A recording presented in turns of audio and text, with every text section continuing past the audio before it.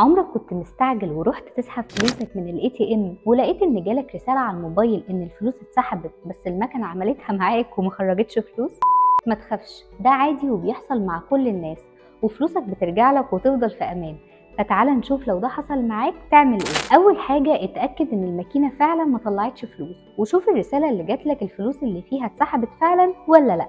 تاني حاجة لو الفلوس ما طلعتش فعلا يبقى في مشكلة في ال ATM والفلوس هترجع لك خلال 30 دقيقة. تالت حاجة أحب أقول لك إن ممكن الفلوس ما ترجعش فعلا وهنا بقى يبقى في مشكلة كبيرة والفلوس هترجع لك خلال خمس أيام. والمشكلة بقى إنك ممكن تكون محتاج الفلوس في حاجة ضرورية ومهمة عشان كده موضوع الخمس أيام ممكن يكون أزمة شوية بالنسبة لك. لكن اطمن وتاكد إن في النهاية فلوسك في أمان وما تنساش الفولو عشان نصايح تانية كتير.